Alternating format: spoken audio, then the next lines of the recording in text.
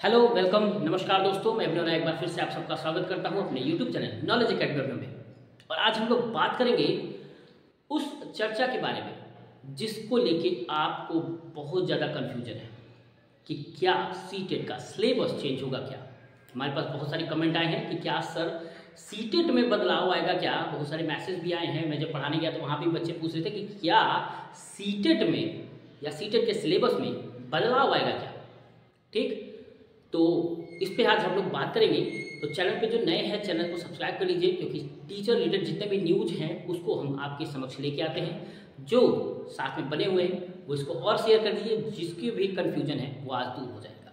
Okay तो चलिए हम लोग स्टार्ट करते हैं। चैनल पे बने रहिए वीडियो को पूरा देखिए। और सबसे ज़रूरी चीज़, आप सबको बधाई, जिसको सीटेट का सीटेट में पास हुए हैं। मेरे पास बहुत सारे मैसेज भी आए हैं, बहुत सारे कमेंट भी आए हैं कि सर धन्यवाद। और सीटेट पास होने की खुशखबरी सुनाया है इन्होंने।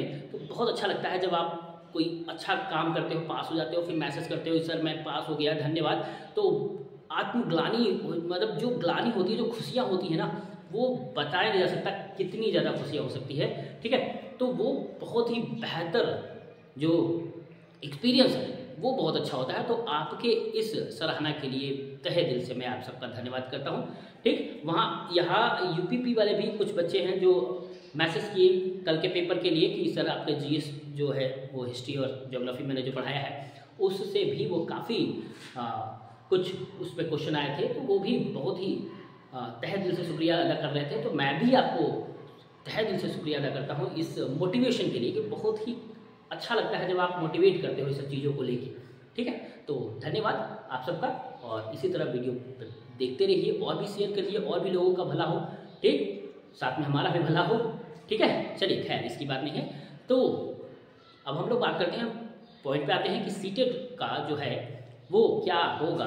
तो बैठक हुई थी, याद रखिए, अब नेशनल कॉन्फ्रेंस हुआ था, टीचर एलिजिबिलिटी टेस्ट, यानी टेट को लेके, और मंत्रालय, जितने भी मंत्रालय हैं, यानी शिक्षा रिलेटेड मंत्रालय हैं, वो आपस में मिलके बात विचार कर रहे थे कि क्या इसमें और भी मोटिवेशन यानी और भी तरीके करने की ज़रूरत है क्या? तो बात हुई तो नेशनल एजुकेशन पॉलिसी जो 2020 है, इसको लेके बात हुई कि अगर एजुकेशन पॉलिसी चेंज होता है तो ज़ाहिर सी बात है, शिक्षक की जो जिम्मेदारियाँ हैं, वो बढ़ेगी।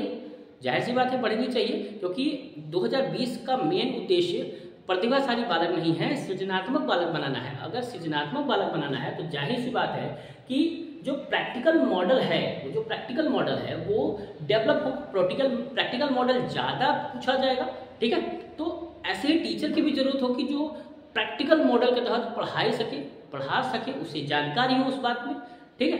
तो अपना जो पैटर्न होगा, जो सीटेट का, यानी जो टेट का, हालाँकि टेट पूरा का पूरा टेट ही चेंज होगा तो जहाँ तक बात करें, पहले तो सेंट्रल चेंज करेगा, उसके बाद धीरे धीरे हर हर एक स्टेट के जो टेट हैं, वो चेंज होंगे, ठीक है? तो पूरा का पूरा टेट जो तरीका होगा, वो कैसे कैसे फॉर्मेट में होगा प्रैक्टिकल फॉर्मेट में होगा तो टीचर को भी थोड़ा सा इस वे में आपको आना पड़ेगा तो थोड़ा सा ध्यान रखना होगा कि थोड़ा बहुत सिलेबस जो है, वो चेंजेस होंगे, लेकिन अभी अभी ऐसा कुछ नहीं होने वाला है, याद रखिएगा, अभी तुरंत ऐसा कुछ नहीं है, ये प्रस्ताव रखा गया है, इस पर बात विचार होगा, और भी विचार आएँगे, और भी थॉट्स आएँगे, और भी चीज़ें होंगी। हालाँकि बहुत हद तक सीटेट ऐसे पेपर लेता ही है, जिससे आपकी सृजनात्मकता बढ़ी, ठीक है? बालकों की समझ बढ़े तो समझ बढ़ने का मतलब ये आप अगर बच्चे को अच्छे से समझ रहे हो तो उसे क्रिएटिविटी भी करा सकते हो, उसे हर चीज़ भी करा सकते हो तो ज़ाहिर सी बात है। तो ज़्यादातर साइकोलॉजी का जो प्रोसेस हो, जो एरिया है, वो हमें लगता है कि थोड़ा सा और डेवलप हो जाएगा, ठीक है?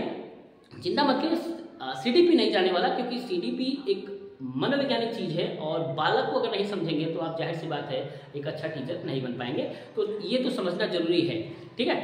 जहाँ तक और भी देखें कि और भी लेवल पे कह रहा है कि और भी लेवल पे जितने भी लेवल हैं, उस पर हम टेट एग्जामिनेशन पास करना अनिवार्य हो गया। तो अभी भी, अब प्राइवेट स्कूल में भी अगर टेट देखो तो वहाँ पे भी अनिवार्य कर दिया गया है। अगर आप पहले बी एड बी को अनिवार्य किया गया, फिर अब टेट अनिवार्य कर दिया गया।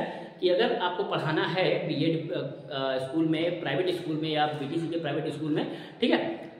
प्राथमिक विद्यालय में और प्राथमिक विद्यालय में जो भी पढ़ाना है तो वहाँ पे भी टेट अनिवार्य कर दिया गया। है तो अब उसी लेवल पे नाइन्थ ट्वेल्थ में भी ये टेट अनिवार्य कर दिया जाएगा, ठीक है? ये ऐसा है जैसे टीजीटी पीजीटी होता था, वहाँ पे भी अब टेट अनिवार्य कर दिया जाएगा तो उसके भी जो फॉर्म्स हैं वो भी आगे बढ़ेंगे। तो ये भी, ये एक चेंजेस आए हैं यहाँ पे।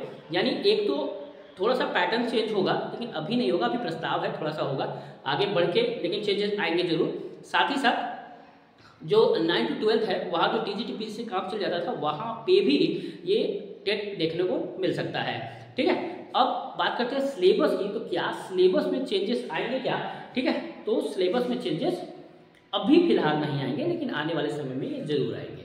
ठीक है? कुछ मुद्दों पे इसमें सिलेबस में चेंजेस आ सकते हैं और आएँगे ही आएँगे, क्योंकि जब 2020 के बेस पे सब कुछ चेंज होगा, यानी प्रैक्टिकल मॉडल पे होगा, यानी सृजनात्मक बालक बनाने की तैयारी होगी तो ज़ाहिर सी बात है सिलेबस भी थोड़ा बहुत वेरी करेगा।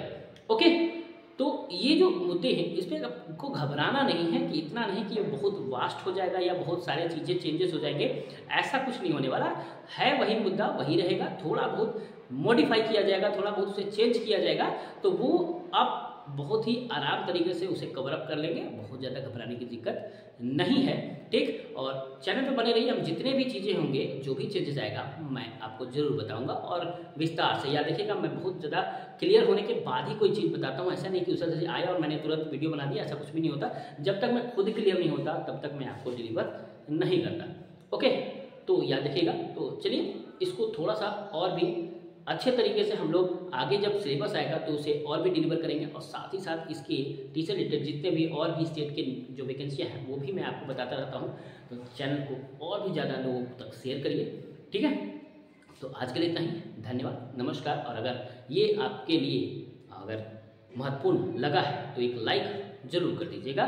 कमेंट करके और भी बताइएगा कि और कितने लोगों ने सी पास किया। ओके तो आज के लिए इतना ही, धन्यवाद, नमस्कार।